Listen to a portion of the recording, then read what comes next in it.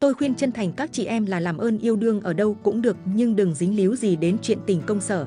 Tại vì nếu như quen anh nào bên ngoài, lỡ không đâu vào đâu thì không ai biết, chứ nếu quen đồng nghiệp, cứ toang một cái là cả công ty đều hay. Ở cái tuổi 26 phơi phới, tôi sau khi trải qua vài mối tình chẳng ngắn không dài thì lại quay trở về thành cô nàng độc thân vui tính. Sau mỗi lần tan vỡ, buồn nhưng cũng có thêm không ít kinh nghiệm, nhất là tôi luyện được con mắt nhìn người chính xác hơn một chút. Thời gian này, tôi xác định tư tưởng bớt chuyện yêu đương độc hại đi để tập trung vào công việc và lại tôi cũng tính sắp tới học lên thạc sĩ nên tạm gác những thứ có khả năng sẽ làm mình vướng bận. Hiện tại tôi đang làm cho một công ty vừa và nhỏ, thu nhập khá ổn. Tuy công việc nhiều nhưng càng làm nhiều thì lại càng ra tiền và quan trọng nhất là môi trường làm việc miễn chê. Ở đây mọi người chơi với nhau rất là thoải mái, không phải cái kiểu thân thiết cứ đi đâu cũng lôi nhau theo mà kiểu chơi thân của người lớn. Có việc thì họ sẵn sàng giúp đỡ nhau còn bình thường thì không ai làm phiền đến cuộc sống của ai hết. Ôi làm tại đây đã đến năm thứ tư rồi và tôi nghĩ tôi sẽ còn gắn bó lâu dài. Ngay giữa lúc tôi quyết tâm gắn bó dài lâu với công ty mình thì một chuyện éo le, chéo ngoe xuất hiện khiến tôi phải giờ khóc giờ cười. Chả là bình thường tôi đi làm rất sớm và về rất muộn. Trừ phòng của mình ra thì tôi ít khi giao tiếp với các phòng ban khác vì tính tôi hơi hướng nội, đã thế lại không giỏi ăn nói cho lắm nên ngại tiếp xúc với những người lạ. Tôi thì nghe công ty đồn thổi ở phòng khác có em trai tên Long thuộc dạng hot boy của công ty, tôi cũng có gặp mấy lần, công nhận là Long có ngoại hình ưa nhìn. Đợt này đi sinh nhật công ty nên tôi và cậu ấy cũng có nói chuyện đôi ba câu.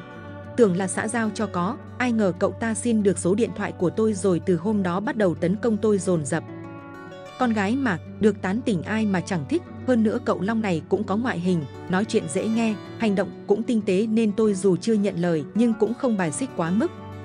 Mấy lần cậu ta mua trà sữa, quà cáp cho tôi thì cả văn phòng, thậm chí cả công ty đều biết. Cậu ta cũng không ngại ngần hay che giấu gì chuyện đang theo đuổi tôi, thậm chí còn có phần khá khoa trương, lên cả radio công ty để tỏ tình giấu tên nhưng ai cũng biết.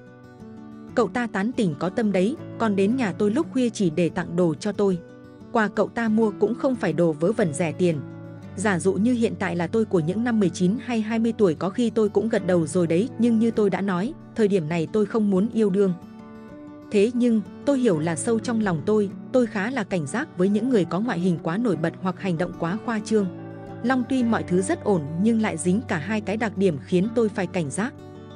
May quá, chưa kịp lằng nhằng gì với Long thì đùng một cái, vừa tuần trước em ấy nhắn tin chính thức tỏ tình sau hơn một tháng tán tỉnh tôi thì tuần này em ấy thông báo lấy vợ.